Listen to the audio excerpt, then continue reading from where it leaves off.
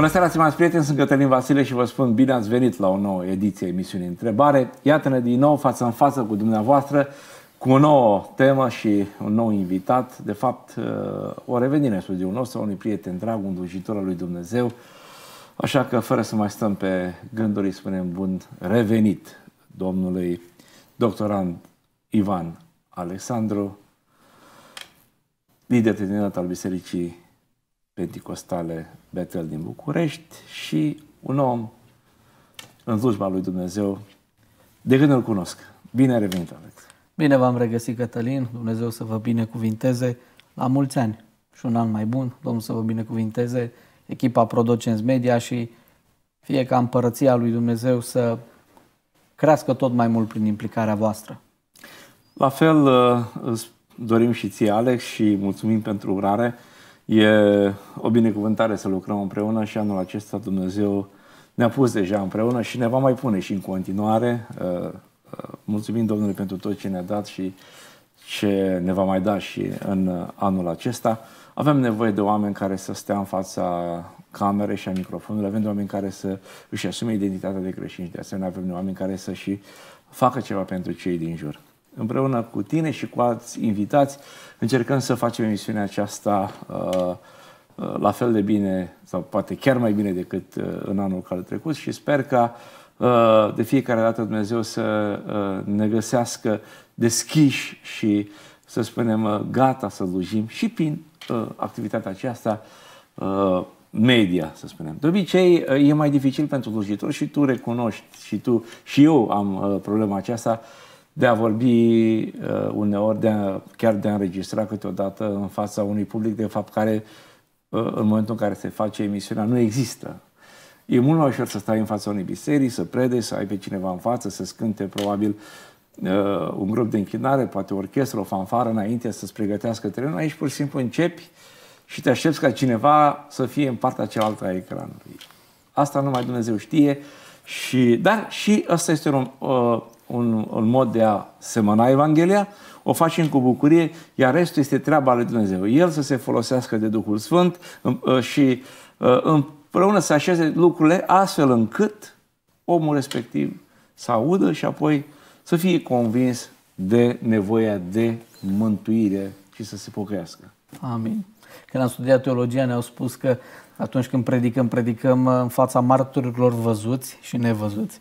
Așa că dacă într-un studio de televiziune nu sunt atât de mulți martori văzuți, ne vede cerul, ne vede Dumnezeu și cuvintele se aud. Așa cuvintele este. au putere. Slavă Domnului!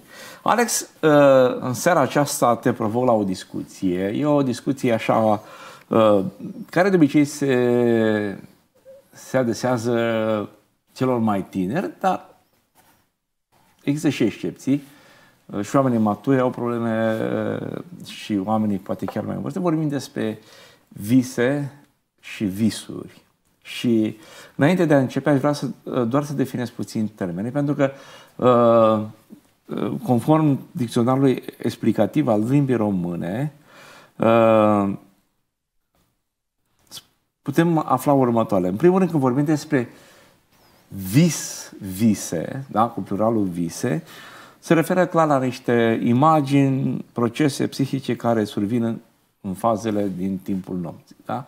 Pur și simplu, atunci când dormim, în fața ochilor, să spunem, virtuale, se perindă tot felul de întâmplări, imagini și, de obicei, sunt uh, uh, uh, ca și cum ar fi reale.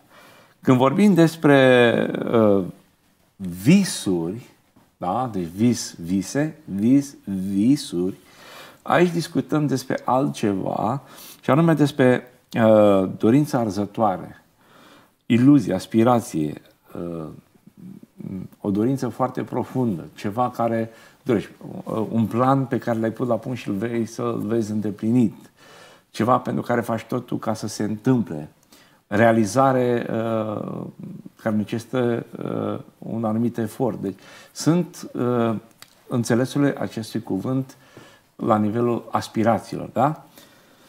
Și bineînțeles, uh, ambele termene se folosesc uh, în, în viața reală uh, și în, uh, în, în în realitatea uh, aceasta a tinerilor, ambele au înțelesuri, să spunem, foarte, foarte importante, foarte, foarte profunde.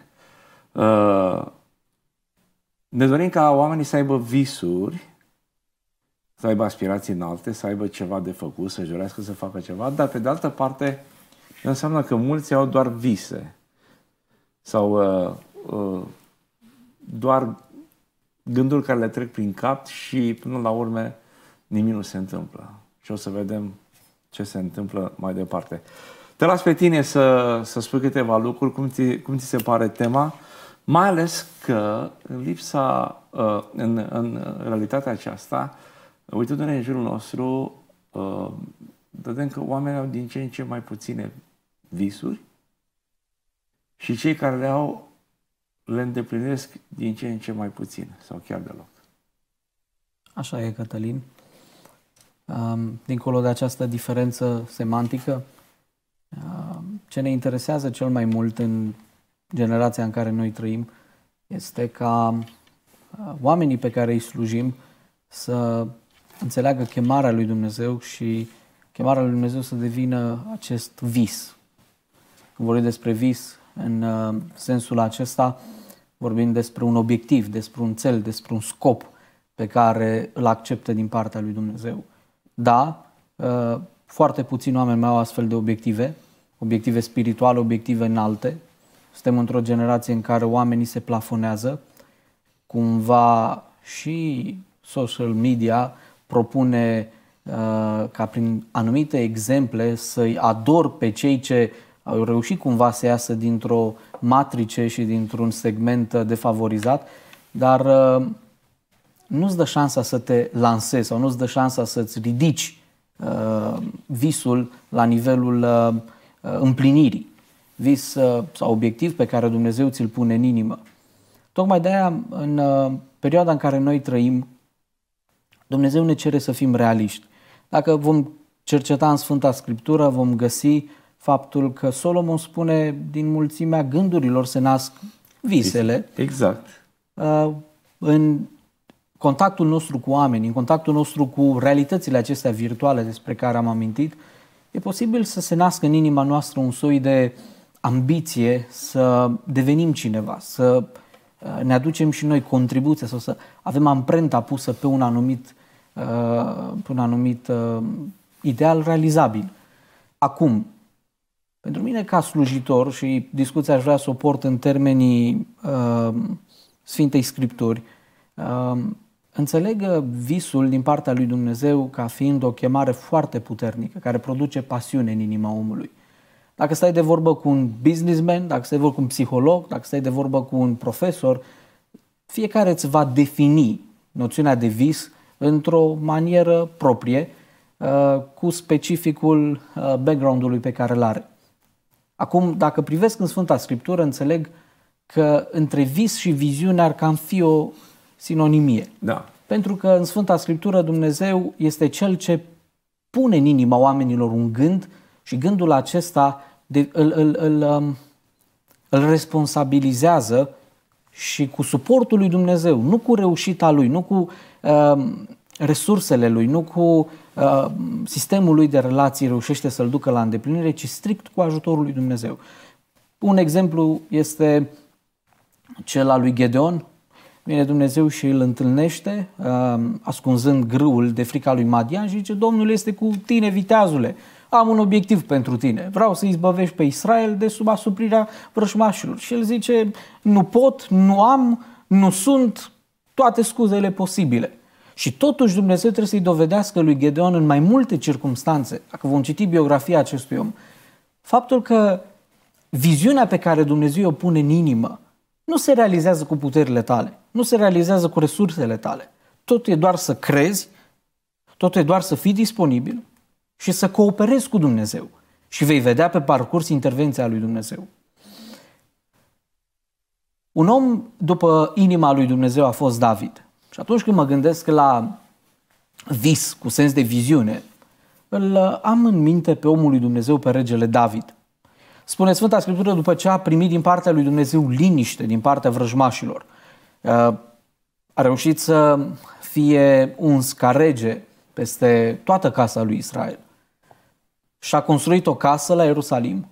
Și într-una din zile îl cheamă pe prorocul Nathan și îi spune nu pot dormi liniștit într-o casă știind că Dumnezeu uh, locuiește, cortul lui, uh, chivotul lui Dumnezeu locuiește într-un cort în uh, bătaia soarelui, în bătaia vântului, în bătaia frigului. Vreau să-i construiesc o casă lui Dumnezeu. În inima lui David, dorința um, începe să-l, să-l pună în mișcare. Asta se întâmplă cu un om care primește un vis din partea lui Dumnezeu. Începe să discute cu alții. Începe să-l împărtășească cu alții. După ce îl împărtășește cu Nathan, găsim în omul lui Dumnezeu Nathan un sprijin autentic, ceea ce mă încurajează. Pentru că un om al lui Dumnezeu are nevoie în, în rândurile uh, celor cu care împărtășește viziunea, de oameni disponibili, de oameni care îl pot înțelege, de oameni care sunt dispuși să pună umărul la împlinirea acestui vis. Nathan se uită la David și spune, fă tot ce ai în inimă, Dumnezeu este cu tine. Primul gând al unui om după inima lui Dumnezeu este acesta, te susțin, sunt alături. În generația în care trăim, această divizare confesională ne-a separat, din păcate. Dacă vine un baptist cu o propunere, Pentecostalul stă să se gândească de două ori ce interes are baptistul să realizeze obiectivul ăsta, ce câștigare. Și dacă îl inviți la coeziune, la dialog, la realizarea unor proiecte comune, se gândește care e interesul tău imediat. Aș vrea să o spun foarte deschis. Eu Așa cred este. că baptiștii, penticostalii, creștinii pe Evanghelie și oamenii care îl iubesc pe Dumnezeu au un singur obiectiv, lărgirea împărăției lui Dumnezeu. Că Dumnezeu așează viziunea aceasta în manieră în moduri diferite în inima noastră, asta nu înseamnă că ne vom diviza și ne vom privi cu suspiciune unii pe alții. De la Natan am înțeles lucrul acesta. Să fiu alături de cei ce au viziune, de cei ce primesc un viz din partea lui Dumnezeu. Să fii acolo, să ajuți, să asculți, să te implici și lucrurile pot merge spre bine. Ei bine, omul lui Dumnezeu, David, uh, îl roagă pe Nathan să mijlocească înaintea lui Dumnezeu. Nathan mijlocește și noaptea Dumnezeu îi se descoperă acestui profet, care în primă fază îi zice lui David, sunt alături, sunt lângă tine. Și Dumnezeu îi spune, du-te și spune lui David că de când uh, am creat cerul și pământul, eu uh, nu locuiesc în temple de, făcute de mâini omenești. Într-un și fel, i-a ratezat-o de la i-a ratezat. Dar atenție, gătă, faptul că Dumnezeu vorbește așa cu David nu înseamnă că uh, nu-mi pasă de visul acesta, nu-mi pasă de proiectul acesta. Din potrivă, îi spune, David, sunt onorat, sunt bucuros, dar nu o vei face tu. Pentru că explicația pe care ne-o dă Sfânta Scriptură cu privire la David a fost că el a vărsat mult sânge și a fost un om al războaielor. Fiul său Solomon îi spune uh, Dumnezeu uh, va fi ambasadorul păcii și sub domnia lui se va ridica acest templu. Acum, gândindu-mă la David, a purtat războaiele lui Dumnezeu, a avut o intenție bună, a zis vreau să construiesc un templu unde să mă închin lui Dumnezeu, unde să-L onorez pe Dumnezeu. Și totuși Dumnezeu îi spune nu. Te-ai fi gândit? Cu ce am greșit? Dar de la David înțelegem că atunci când Dumnezeu îți spune nu, nu este un nu categoric și un nu decisiv, ci probabil ce a înțeles David, așa cum găsesc în 1 uh, Cronici, capitolul 17, este faptul că dacă nu poate împlini cu mâinile lui realizarea acestui edificiu, asta nu îl împiedică cu nimic să contribuie sub o formă sau alta pentru ca acest proiect în viitor să devină realitate.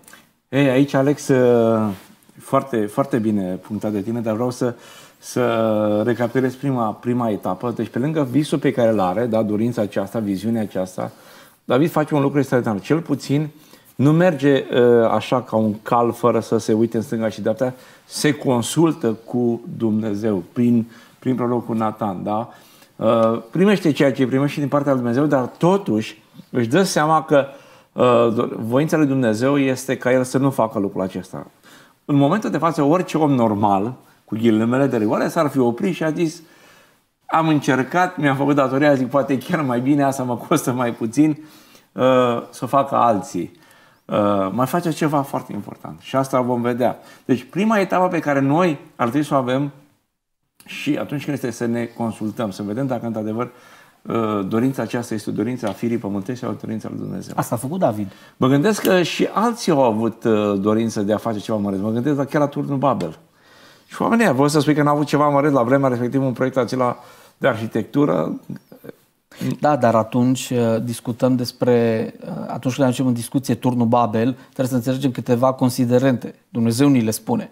În primul rând, prima lui poruncă a fost, după ce au ieșit din corabie, înmulțiți-vă și umpleți pământul, populați pământul. Ei vin și spun, nu vrem să populăm pământul, vrem să ne ducem spre ceruri.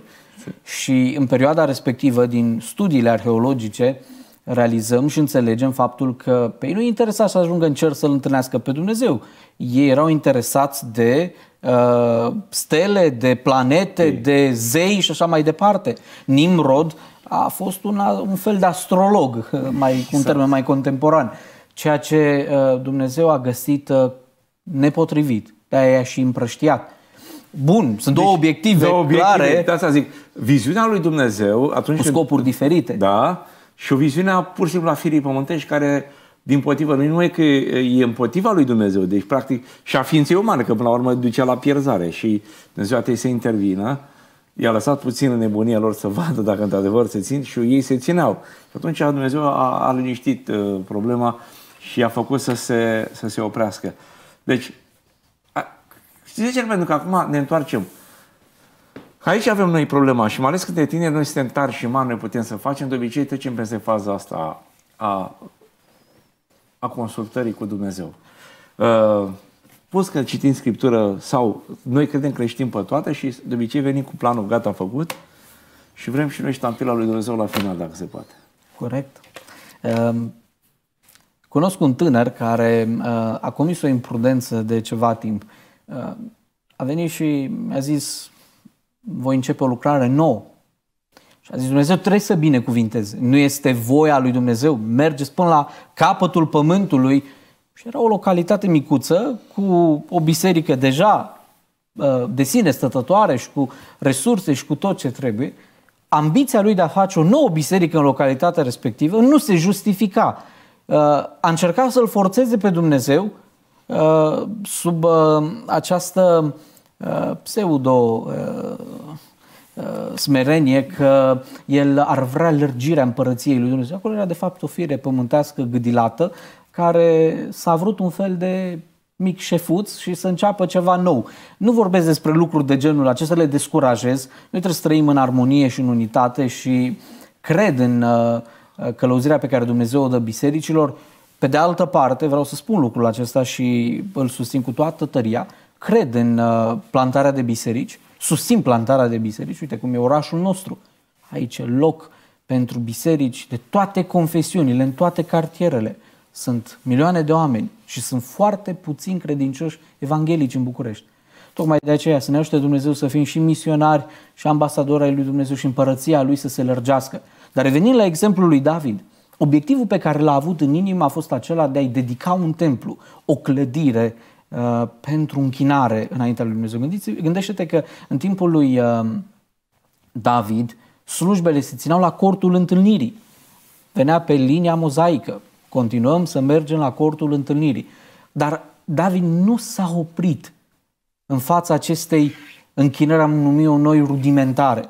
Cel vine și spune, am un vis, să-i fac o clădire lui Dumnezeu. Și știu unde este binecuvântarea lui Dumnezeu. Deși Dumnezeu îi spune nu, în Sfânta Scriptură spune că Dumnezeu i-a dat planurile pentru construcția templului. I le-a dat lui David.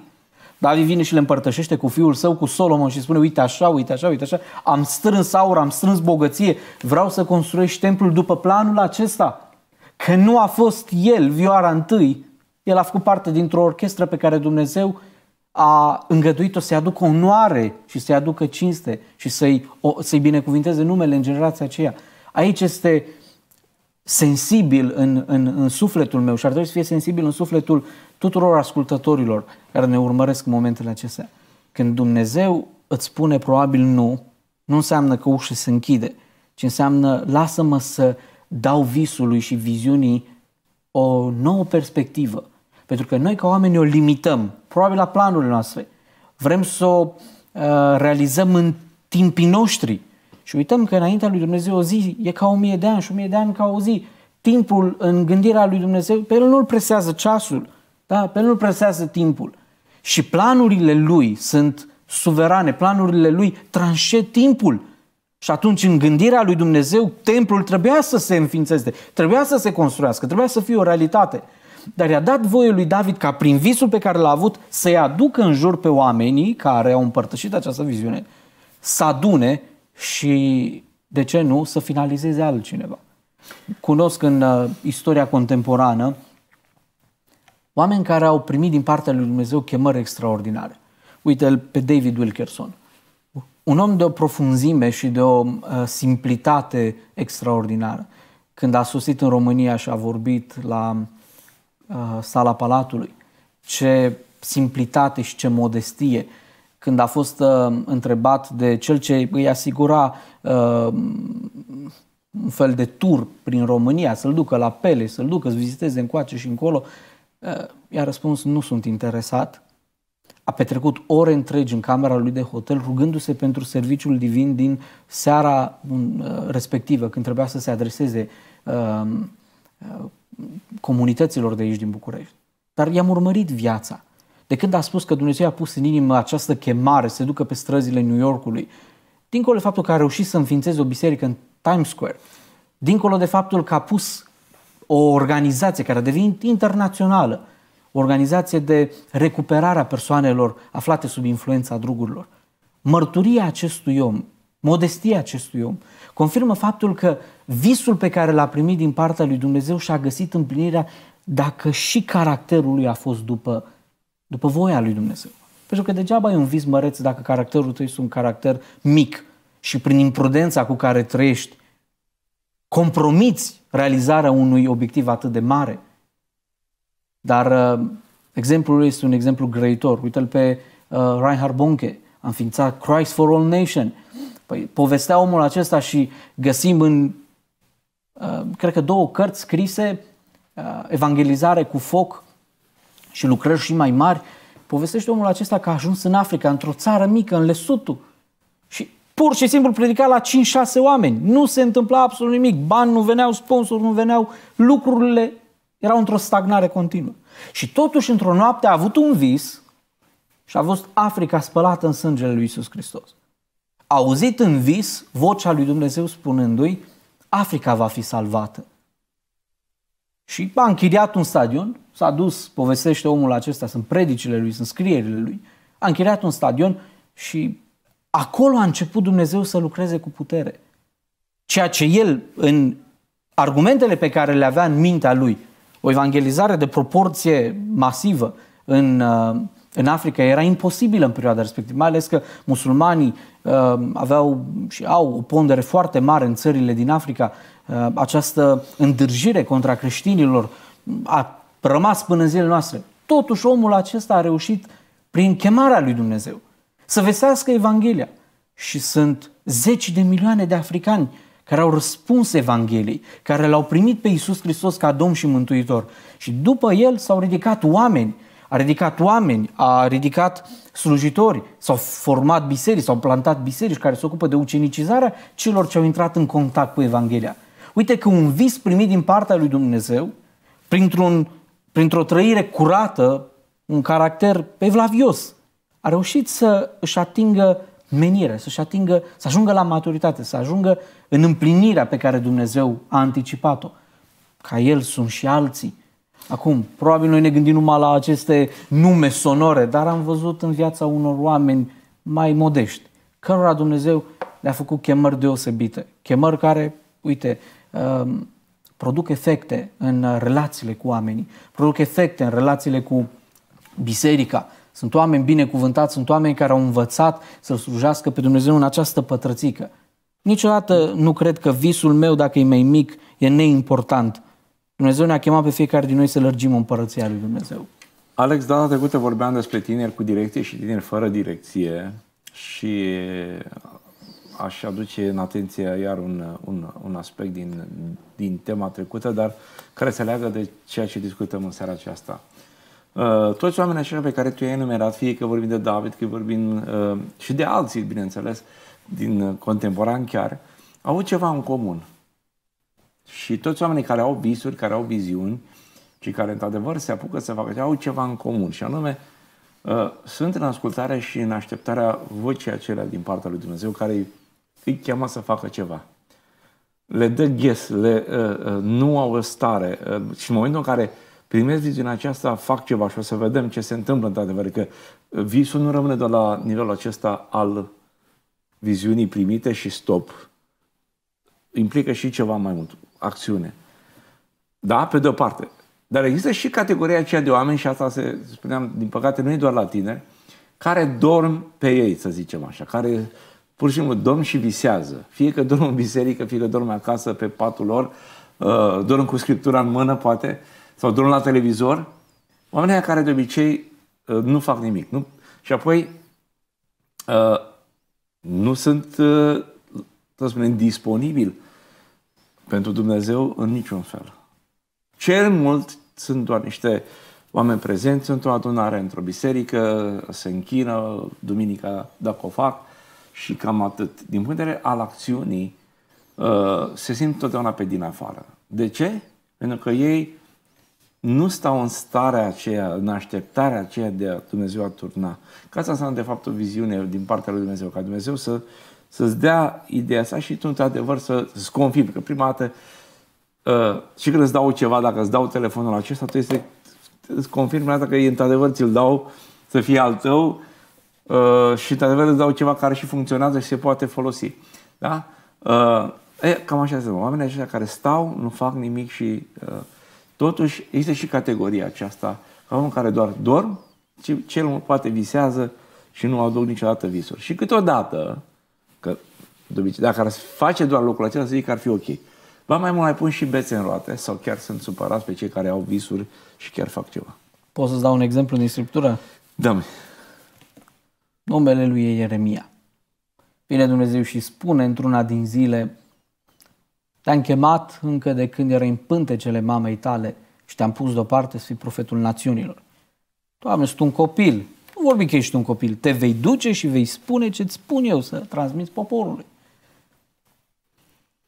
Și primul test din capitolul 1 este acesta. Ce vezi, Ieremia?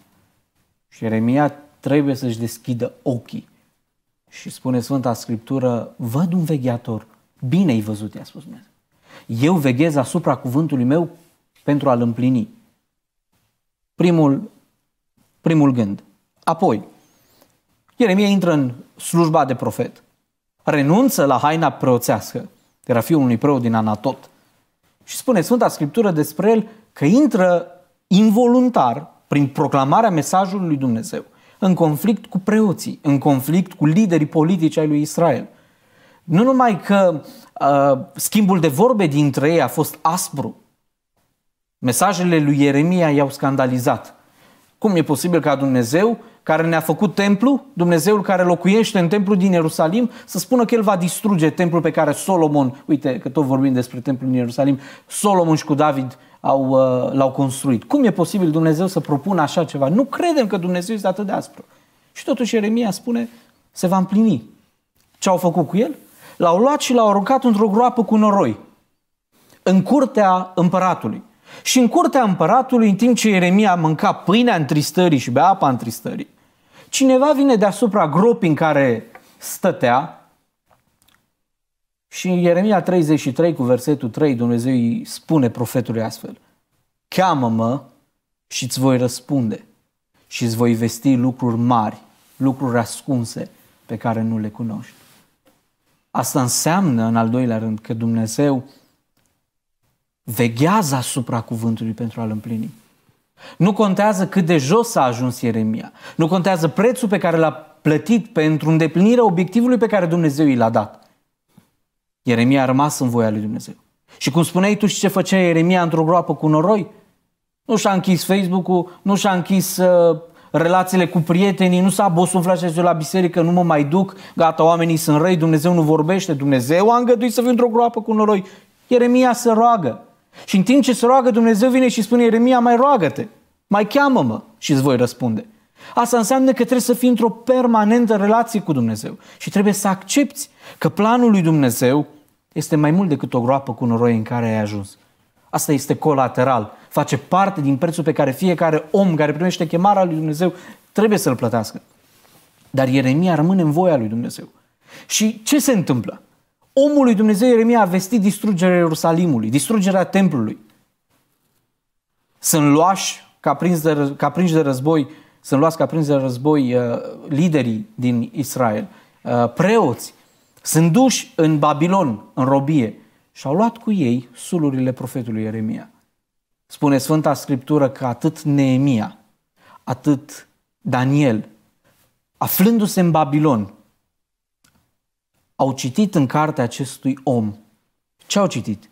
Că Dumnezeu veghează asupra cuvântului pentru a-l împlini. Ce a vestit prin profetul Ieremia cu 100 de ani în urmă, că Ierusalimul va fi distrus, s-a împlinit. Dar Dumnezeu a mai vestit un lucru, că după 70 de ani va aduce pe evrei înapoi și le va rezidi templul. Și în inima lui Neemia și în inima lui Daniel avea să se nască din nou un vis. Și aș vrea să mergem un pic mai departe cu discuția spre Neemia, un om care a primit din partea lui Dumnezeu un vis ex, ex, ex, excepțional. Un alt om care a făcut la dispoziția lui Dumnezeu face un lucru mare, uh, poate de necrezut uneori, ca la îndeplinirea acestui vis, și o să vedem cum, să, să-l convingă exact pe omul care nu era omul lui Dumnezeu.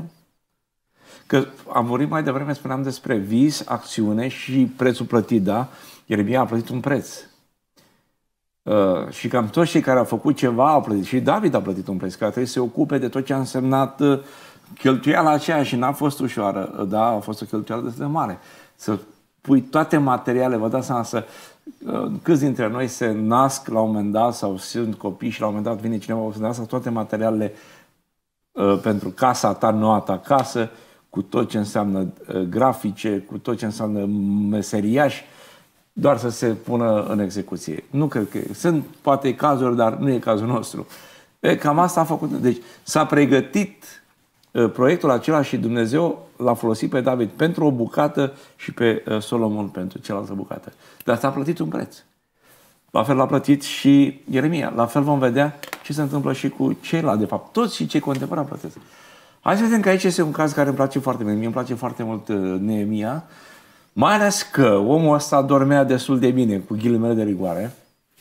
Dormea în sensul că era pe picior mare, avea o funcție foarte, import, uh, uh foarte importantă, trăia bine și aș spune că omul care n-ar mai să-și dorească nimic în viață și mai ales să ne intereseze de niște amărâți care erau la oarecare distanță de el și care își merită oarecum soarta, știi? Dacă e să o luăm așa, după uh, ce, se, ce pățisele a fost din partea lui Dumnezeu și el era, el era în siguranță. Um, ce găsesc în Sfânta Scriptură despre Neemia mă, mă entuziasmează, pentru că este un om căruia Dumnezeu îi dă șansa să fie um, partener cu Dumnezeu. Dumnezeu îi dă șansa lui Neemia să se implice într-un proiect extraordinar. Hai să spun ceva, Cătălin, cum înțeleg eu? Cred că Dumnezeu a gândit un proiect și proiectul mare este mântuirea omului. În acest proiect, secvențial Dumnezeu dă omului care trăiește, că îl numește Cătălin Vasile, că îl numește Alex Ivan, că îl numește sub o altă formă, îi dă șansa să ia parte la împlinirea acestui obiectiv. Noi îl numim vis în seara aceasta. Obiectivul lui Dumnezeu, mântuirea omului. Ți se dă șansa ca parte din acest obiectiv să se îndeplinească în viața ta și să iei prin acțiunile tale, prin voința ta, prin resursele tale, parte la îndeplinirea acestui plan general. Așa s-a întâmplat cu Neemia. Omul acesta era în capitala celui mai puternic imperiu din timpul respectiv. Era paharnicul celui mai puternic împărat din timpul respectiv. Și poziția lui era o poziție de influență. Găsim în uh, scrierile istorice, că dincolo de faptul că degusta vinul pe care îl consuma împăratul să se asigure că nu este otrăvit și viața împăratului să fie pusă în pericol, omul acesta era un om care lua parte la toate discuțiile intime ale împăratului. Împăratul consuma vin mai oricând, când își invita uh, consilierii, când își invita miniștri, când își invita tot staful, capitanii de armată și așa mai departe. Era un om în anturajul regelui. Cunoștea detalii. Și Dumnezeu pune în inima lui Neemia acest gând. Cum e posibil eu să trăiesc într-un confort sporit și țara unde m-am născut, de unde sunt rudele mele, să zacă în ruină? Cum, cum e posibil ca templul din Ierusalim să rămână distrus și mie să nu-mi pese? Chiar spune un lucru extraordinar și aș dori să citesc versetul acesta. Când a auzit veștile despre țara promisă, despre uh, locul lui de naștere, spune Sfânta Scriptură, locul părinților lui, am șezut jos, am plâns, m-am jelit multe zile, am postit și m-am rugat Domnului Dumnezeului Cerului și am cerut un vis, am cerut un obiectiv. Am zis, ce fac de aici încolo? Și omul acesta spune așa, mă voi duce înaintea împăratului. Dacă va fi să pierd, voi pieri. Dacă nu, Dumnezeu să-mi dea trecere înaintea omului acestuia. Neemia 1 cu 11. Îi spune Sfânta Scriptură în timpul unui ospăț, în timp ce îl servea pe împărat, Bratul și de la el și zice ceva diferit astăzi, nu ești în apele tale. Da, împărate, nu pot fi bucuros știind că moștenirea mea, moștenirea părinților mei, moștenirea națiunii de unde vin, este o ruină. Cu ce te pot ajuta? Sunt vorbele acestui împărat. Cu ce te pot ajuta? Și dăm scrisori să mă duc să vizitez în primă fază șantierul și vedem ce se poate face. Zi și făcut. Și din momentul acela Dumnezeu spune despre Cir Persanul că Dumnezeu i-a mișcat inima. Nu numai că îi dă voie parafă, pașaport diplomatic, du-te și ocupă-te de treburile reconstrucției uh, uh, acestui domeniu, Ierusalimul, templul și așa mai departe, dar Cir Persanu pune la dispoziția lui Neemia resurse financiare, resurse umane. Și ce este foarte frumos este că Dumnezeu mișcă inima unui outsider Exact. Ajunge Neemia în Ierusalim, se duce, ia în brațe pe evrei și zice Dumnezeu se uită cu milă spre noi, Dumnezeu ne oferă o oportunitate ca planul lui să se împlinească sub ochii noștri, hai să rezidim zidurile, hai să rezidim templu. Și știi ce fac? Uh, ce interes ai? Păi ce interesam? Că eram bine unde, de unde vin.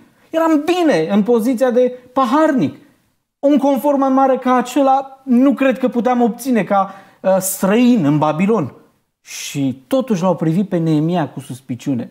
Așa cum s-a spus mai devreme, când un baptist vine cu o propunere sau un pentecostal vine cu o propunere, se uită un pic ce interese sunt. Exact. Uh, interesul este reconstrucția zidurilor, reconstrucția templului, reconstrucția unui obiectiv care este mai mare decât ce gândim noi în momentul acesta. Vezi, asta înseamnă, Alex, să ai viziunea aceasta lui Dumnezeu. În primul rând, ți-o asum și se vede pe fața ta că ești preocupat, ești Corect. întristat. Și noi spune Scriptura acolo să plângi cu cel ce plânge, să te bucuri cu cel ce bucură. În momentul în care știi că fratele tău, da, uh, uh, comunitatea ta din biserică suferă sau trece într-o încercare, e nevoie, tu n-ai cum să fii pe cai mari. Cât de bine ți-ar fi, pentru că simți uh, cu trupul acesta din care faci parte, da? Asta suferă face. mădular, suferă tot trupul. Exact. Și asta face uh, asta. Uh, omul cu viziune are această calitate, are acest, această trăsătură de caracter. Și mai mult, ceea ce îmi place foarte mult, el fiind într-o zonă foarte confortabilă, uh, nu e rușine și spune și asumat. Și asumarea aceasta e și la Estera și la cei tineri în, în cuptorul cu foc, în care zice, băi, eu fac voie lui Dumnezeu, eu cred că asta te să Băi, dacă o fi să pierd, asta e, am încercat, sunt împăcat cu... Și vezi, își asumă într-un context în care nu Iahve era Dumnezeul Babilonului, Absolut. ci zeitățile și așa mai departe. Deci, Ei nu se rușinează de numele lui Dumnezeu, ci dai identitate. seama, și mai mult, Dumnezeu face așa lucruri, are Dumnezeu tainele lui prin mod, în, în, în felul în care lucrează. Nu ne lea pe omul ăsta care, teoretic, la noi nu, l-a, nu l-am pune la amvon, cu siguranță pe Cir, da?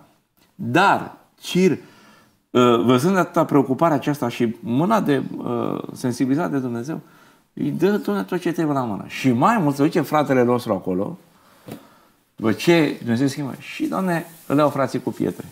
Pot să fiu foarte onest în seara aceasta? Te rog. Cătă, am... Adică, crezi că se întâmplă? Eu cred că se întâmplă și acum. Se întâmplă. Uite, am primit din partea lui Dumnezeu călăuzirea să înființez un proiect. Uh-huh. Atunci când am vorbit cu oamenii din lume, nu vorbesc de creștini evanghelici. Da, da, da mi-au zis, suntem cu tine. Ești un om bun, te cunoaștem de cuvânt, dă drumul, suntem alături. M-am dus la frații mei. Uh, Frații mei uh, însemnând evangelicii. Exact. Și o parte din ei m-au privit cu suspiciune. Ce, ce inter, ce gânduri? Costurile erau la mine, timpul eu îl oferam, L- pe ei doar i-am consultat. Și atunci când i-am consultat, această, această neîncredere, nu știu de unde să o iau. Și am înțeles că nu numai în timpul nostru, dar uite, găsim în Sfânta Scriptură, în cazul acesta, în cazul lui Neemia, să vină cineva să spună, hai să rezidim templu, hai să rezidim zidurile Ierusalimului, nu cu banii tăi, ci cu banii lui Cir Persanu. Da, asta Tobia și Sambalat au zis, opa, stai un pic, nu suntem noi vioara întâi, nu, nu, nu, aici sunt interese obscure. Și l-a oprit pe Neemia de nenumărate ori din desfășurarea acestui plan. Până când vine o scrisoare hotărâtă din partea lui Cir spunându-i, băieți, nu numai că vă cer să-l lăsați să facă treabă, dar vă rog să-i puneți la dispoziție resursele voastre să termine treaba și rezidirea templului și rezidirea zidurilor. Aici e măreția lui Dumnezeu. Deci un plan pe care Dumnezeu îl are se va duce la îndeplinire indiferent de opoziția pe care oamenii o fac. Dar așa cum ai spus și tu, asta mă mâhnește și pe mine. Poate vom reuși noi, Alianța Evanghelică din toată România aceasta, să fim mai solidari, să fim Uh, Nu vorbesc de o coeziune doar la nivel uh, politic, Exact. să dăm bine pe camere, să dăm bine în statutul de funcționare pe care îl are această alianță. Eu aș vrea ca la nivelul proiectului, la firul ierbii, la firul ierbii, să se vadă o cooperare, pentru că noi suntem ambasadorii unei împărății care nu se poate clătina și este împărăția lui Dumnezeu, nu este împărăția penticostalilor, nu este împărăția baptiștilor, nu este împărăția ortodoxilor, este împărăția lui Dumnezeu. Că noi aparținem acestor confesiuni, nu ne rușinem de lucrul acesta, o spunem cu bucurie, slujim în aceste confesiuni, suntem solidari cu aceste confesiuni, dar cred că trebuie în zilele din urmă să fim mai aproape unii de alții. Pentru că ce se întâmplă astăzi în Europa, ce se întâmplă astăzi în lume, cu aceste noi ideologii care bat la ușa țării noastre acum, sunt o realitate în Statele Unite, sunt o realitate în unele capitale europene, această ideologie de gen și toate transexualitate și lucruri, această sexualitate fluidă, căsătorii între persoane de același sex, bat la ușa comunităților evanghelice din România. Va trebui să avem un răspuns. Dincolo de asta, proiectele noastre trebuie să fie comune și militez pentru lucrul acesta. Crede-mă că, și aici fac o mărturisire, uh, mi-a luat ani de zile și mi-a mult timp să discut cu lideri de tineret, cu colegi slujitori, să ne întâlnim, poate într-o conferință comună, poate în obiective comune.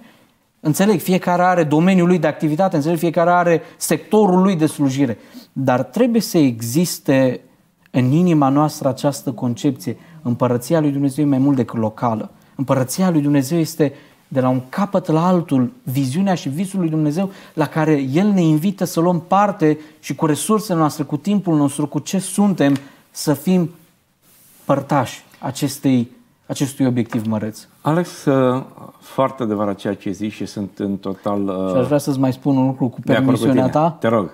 Uh, Noi suntem chemați să zidim un templu. Și templul pe care îl zidim noi astăzi nu este un templu făcut din pietre, ci este un templu făcut din pietre vii. Noi alcătuim templul lui Dumnezeu. Suntem o împărăție, suntem parte a acestei împărății. Și aici este supremația acestui, acestui adevăr din Sfânta Scriptură, că Dumnezeu ne invită să fim mai mult decât lucrători împreună cu El, să fim parte, prin identitate, a acestui proiect. Și aici e mai mult. Templul nu este o clădire în care Dumnezeu și-a așezat slava vremelnic în timpul vechiului legământ, ci templul pe care Dumnezeu îl are în vedere în Noul Testament este templul Duhului Sfânt și simbolic vorbește despre o biserică. Și biserica suntem noi, oamenii, nu clădirile în care locuim. Tocmai de aceea aici insist și este gândul cu care aș vrea să începem anul acesta, să ne ajute Dumnezeu să cooperăm mai mult, să ne ajute Dumnezeu toți creștinii de aici din București să fim mai aproape și împărăția lui Dumnezeu să câștige teren în București. Alex, este o mare dorință și a mea și ca tine, cred că mai sunt și alții. Uh, Ceea ce văd eu acum ca și piedică sau ca poate câteodată nu din reavoință, unul o fac din lipsă de, de viziune, unii chiar dorm și pe ei și pur și simplu se simt atât de bine încât chiar nu vor decât să Cum îi putem trezi? Asta numai Duhul lui Dumnezeu îi poate Amin. trezi. Noi doar te le mai spunem din când în când, mai sunăm clopoțelul și numai Dumnezeu îi poate convinge. Iar alții vin și din oarecare răutate, invidie, spune dacă ideea ta nu e ideea mea, nu e o idee Nu bună. susțin, corect. Da? Așa că uh, dacă cumva ideea ta excelentă n-a fost ideea mea mai întâi, atunci o lăsăm așa să fie la tine și ești pe compromis. Și așa se întâmplă, să știi. Poate asta este foarte și asta este un alt fel de, de răutate uh, care este prezentă în mijlocul nostru. Dar noi credem în puterea lui Dumnezeu și când Dumnezeu a mișcat inima lui Cir, Dumnezeu poate schimba, cred că, inima oricui. Amin. Și asta sunt vremurile, Alex, să ne trezim, să ne lăsăm din visurile astea lumești în care, uh, normal, dacă stai toată seara la Netflix sau știu în altă parte uh, la televizor, o să visezi numai, da, numai, sau stai pe jocurile online, ai să vezi numai trei de shootere și știu și alte chestii, locuri de strategie. E, ca să stai într-adevăr și să primești o viziune din partea lui Dumnezeu, stai în cuvânt, stai în rugăciune, stai în meditație, stai în părtășie, ascultă. Amin. Și atunci Dumnezeu va lucra. Alex, m-am bucurat să te, să te auzi. Nu vreau să încheiem până nu uh, faci o încheiere. Știu că ai pregătit o, o încheiere frumoasă apropo de tema noastră, care a fost extraordinară. Îți mulțumesc pentru exemplele pe care ne-ai dat. Am vorbit și câteva lucruri practice din, din ziua de azi. Dar întotdeauna să ne întoarcem la Scriptură și Dumnezeu Amin. va mișca lucrurile. Amin. Cătălin, m-a pus în mișcare cu mai mulți ani uh, o poezie a unui nobil din 1577 intitulată Tulbură-ne, Doamne. Probabil sumarizează într-un mod plăcut uh, ceea ce noi am discutat în seara aceasta și cu permisiunea ta aș dori să Te rog. citesc aceste versuri. Tulbură-ne, Doamne, când suntem prea mulțumiți cu noi înșine, când ni se împlinesc visurile, fiindcă am visat prea mărunt, când am ajuns în siguranță la destinație, fiindcă am văslit prea aproape de țărm, tulbură-ne, Doamne, când sătui de lucrurile pe care le avem, ne-am pierdut foamea de pâinea vieții, când îndrăgostiți de viață, am încetat să mai visăm la veșnicie.